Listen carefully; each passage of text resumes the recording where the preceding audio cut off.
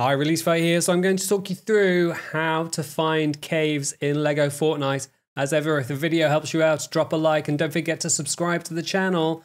But essentially, you need to look for big rocky outcroppings like this to find a cave. You don't need to get all the way up to the mountains, which is kind of what I thought initially. And you'll find these rocky areas relatively close to where you first start in the game. So you shouldn't have to go too far to be able to hunt them down. Just have a look around your camp or your village and you should be able to see one. And then at the door you'll see some mushrooms and you'll be able to enter. And once you get inside you'll be able to start finding new materials.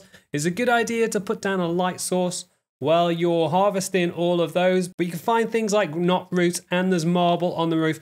But you can also see that there's mobs in here. So it's a good idea to bring one of your villagers to explore caves with you to give you a bit of protection. And that is how to find caves in LEGO Fortnite. Like I said before, if the video helps you out, drop a like below, subscribe with the link on the left hand side, and you can see the rest of my guide for LEGO Fortnite with the links on the right hand side. Leave any comments, and I'll catch you next time.